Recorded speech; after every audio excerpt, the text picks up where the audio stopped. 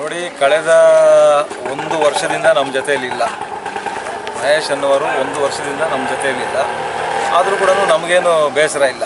ಅವರು ಪ್ರತಿಯೊಬ್ಬರಿಗೂ ಕೂಡ ಸ್ವಾತಂತ್ರ್ಯ ಇರುತ್ತೆ. ಅವರು ಯಾವ ಪಕ್ಷಕ್ಕಾದರೂ ಹೋಗ್ಬೋದು ನಮ್ಮದೇನೂ ತಕರಾರಿಲ್ಲ. ಕಳೆದ ಭಾನುವಾರ ಅವರ ಗ್ರಾಮದಲ್ಲಿ ಒಂದು ಸಭೆಯನ್ನು ಮಾಡ್ತಾರೆ. ಆ ಸಭೆಯಲ್ಲಿ ರಾಜಕೀಯವಾಗಿ ಏನಾದರೂ ಮಾತಾಡಿ. ರಾಜಕೀಯವಾಗಿ ಏನು ಮಾತಾಡಿದ್ರು ನಮ್ಮದೇನೂ ತಕರಾರಿಲ್ಲ. ಆದರೆ ಅವ್ರು ಮಾತಾಡಿರ್ತಕ್ಕಂಥ, ಅವ್ರು ಬಳಸಿರ್ತಕ್ಕಂಥ ಭಾಷೆ ನನಗೆ ಹರ್ಟ್ ಆಗಿದೆ. ಹಾಗಾಗಿ ನಾನು ಪೊಲೀಸ್ ಠಾಣೆಗೆ ದೂರನ್ನು ಕೊಟ್ಟಿದ್ದೇನೆ.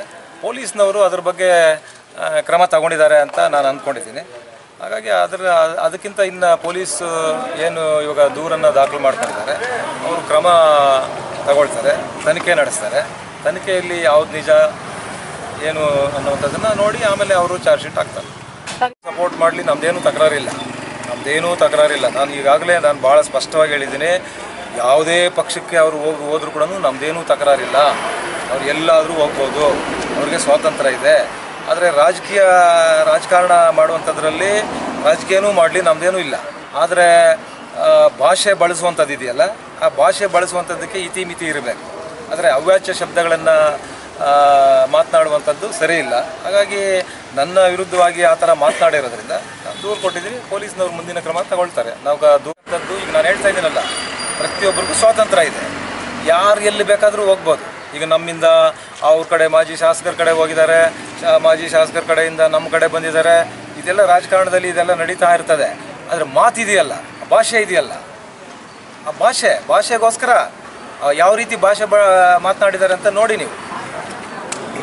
ಭಾಷೆಯಿಂದ ನಾವು ಕಂಪ್ಲೇಂಟ್ ಕೊಟ್ಟಿದ್ದೀವಿ. ಆ ಭಾಷೆ ಯಾವ ರೀತಿ ಬಳಸಿದ್ದಾರೆ ಅಂತ.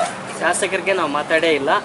ಕಾಮನ್ ಆಗಿ ಮಾತಾಡಿದ್ದೀವಿ. ಯಾರಿಗೆ? ಕಾಮನ್ ಆಗಿ ಜನರ ನೋಡ್ರಿ ಒಬ್ಬ ಸಾರ್ವಜನಿಕ ಕ್ಷೇತ್ರದಲ್ಲಿ ಇರ್ತಕ್ಕಂಥ ನನಗೆ ಆ ರೀತಿ ಭಾಷೆ ಬಳಸಿದ್ದಾರೆ ಅಂತ ಹೇಳಿದ್ರೆ ಇನ್ನು ಕಾಮನ್ ಮ್ಯಾನ್ಗೆ ಯಾವ ರೀತಿ ಭಾಷೆ ಬಳಸ್ತಾರೆ? ಅದಕ್ಕಾಗಿ ನಾನು ದಾ ಅದ- ದೂರು ದಾಖಲು ಮಾಡಿದ್ದೀನಿ.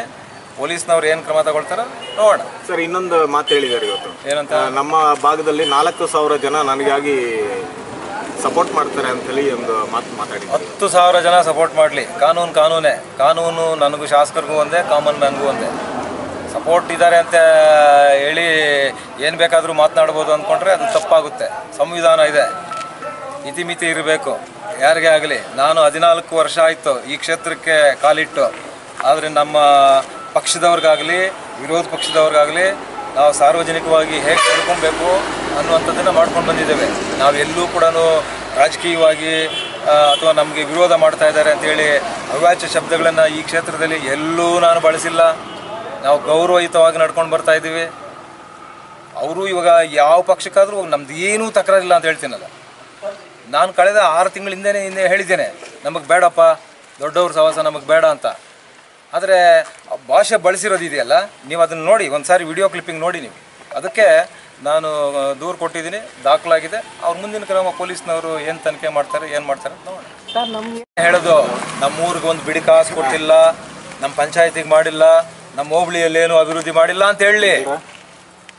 ಆದರೆ ಭಾಷೆ ಆ ಭಾಷೆ ಬಳಸಿದಾರಲ್ಲ ಅದನ್ನು ನಾನು ಪ್ರಶ್ನೆ ಮಾಡ್ತಾ ಇರ್ತಕ್ಕಂಥದ್ದು. ಅವ್ರು ಹೇಳಿ ಇಡೀ ಕ್ಷೇತ್ರದಲ್ಲಿ ಏನೂ ಮಾಡಿಲ್ಲ ಅಂತ ಹೇಳಿ. ರಾಜಕೀಯವಾಗಿ ಮಾಡಲಿ. ಈಗ ಹಿಂದೆ ಬೇರೆ ಬೇರೆಯವರು ಕೂಡ ನೂರಾರು ಸ್ಟೇಟ್ಮೆಂಟ್ಗಳು ಕೊಟ್ಟಿದ್ರು. ಆದರೆ ಈ ಭಾಷೆ ಬಳಸಿಲ್ಲ ಅವರು. ಈ ಭಾಷೆ ಬಳಸಿಲ್ಲ. ಯಾಕೆ ಬಳಸ್ಬೇಕು ಇವರು? ಯಾರು ಇವ್ರು ಯಾಕೆ ಕಾನೂನನ್ನ ಕೈಗೆ ತಗೊಳ್ಳುವಂಥದ್ದು ಕೊಟ್ಟಿರ್ತಕ್ಕಂಥದ್ದು? ಹಾಗಾಗಿ ಅದಕ್ಕೆ ನಾವು ಆ ಭಾಷೆ ಬಳಸೋರು ಅಂತಾರಲ್ಲ. ನಮ್ಮ ತಂದೆ ತಾಯಿಗಳು ನಮಗೆ ಸಂಸ್ಕಾರ ಕಲಿಸಿದ್ದಾರೆ. ನಾವು ಅಂಥ ಭಾಷೆ ನಾವು ಮಾತಾಡಲ್ಲ. ನಮ್ಗೆ ಗೊತ್ತಿಲ್ಲ. ನಾವು ಅಂಥ ಭಾಷೆ ಬಳಸೋದಿಲ್ಲ. ಹಾಗಾಗಿ ನಾನು ಕಾನೂನಿನ ನೆರವಿಗೆ ಹೋಗಿದ್ದೀನಿ. ಕಾನೂನು ಇವತ್ತು ನನ್ನ ದೂರನ್ನು ದಾಖಲು ಮಾಡಿಕೊಂಡಿದ್ದಾರೆ. ಮುಂದಿನ ತನಿಖೆ ಕ್ರಮ ಏನೇನು ಮಾಡ್ತಾರೆ ನೋಡೋಣ.